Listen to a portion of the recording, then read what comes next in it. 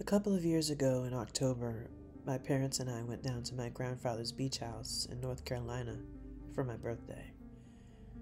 His house was always my favorite to visit because it was secluded from the town and had a beautiful dock that looked out into the water. After eight hours or so of driving, we arrived at his house. It was fairly late, so we all said our quick hellos and went to bed.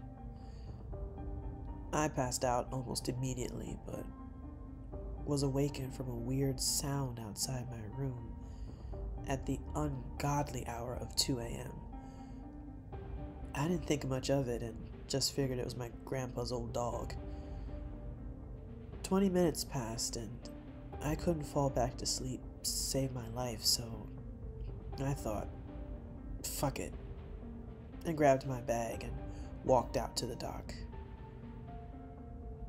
It was pitch black, chilly, but not too bad, and all I could hear was crickets and, of course, the water splashing up against the dock and my grandpa's boat.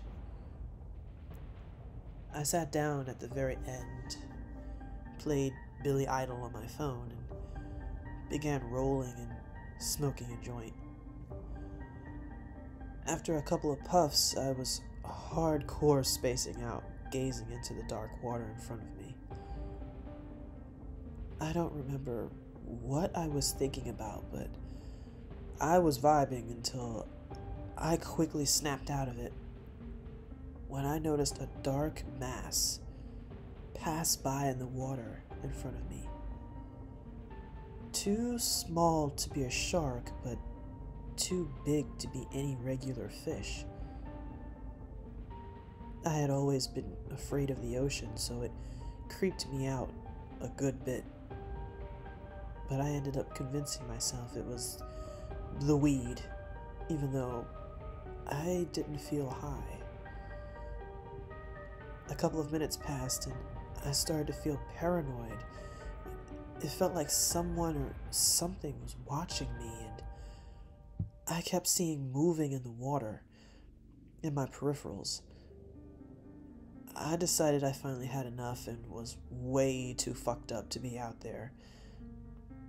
So I started packing everything back into my bag, and as soon as I turned off the music, I noticed that it was quieter than before. The crickets seemed to have disappeared and the water was weirdly still. I remember mumbling, fuck this, and got up. What I saw a couple feet out in the water in front of me, I will never forget. It was a head submerged up to its eyes, the dim lighting from the dock illuminating it slightly. I stood there frozen in fear, unable to fully process what I was seeing. It had the appearance of a man with dark, long hair and strong, intense eyes. I was unable to move. It felt like I was in a trance keeping my eyes locked with it. Every possible thought and explanation ran through my head all at once. And just like a dumbass in a horror movie, I muttered, Hello? It then began to lift its head out of the water, revealing the rest of its face, and without breaking eye contact, it whispered, Hello. Back at me. I ran to the house as fast as I could. I, I was losing my mind. I didn't even know how I managed to fall asleep that night. For days, I was trying to figure out if it was a dream or a hallucination, but I could remember every detail. And the craziest part is that I've never stopped seeing it. I see it every time I visit. I see it in my dreams and my nightmares.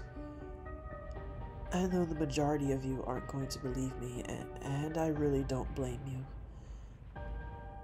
I wouldn't believe me either.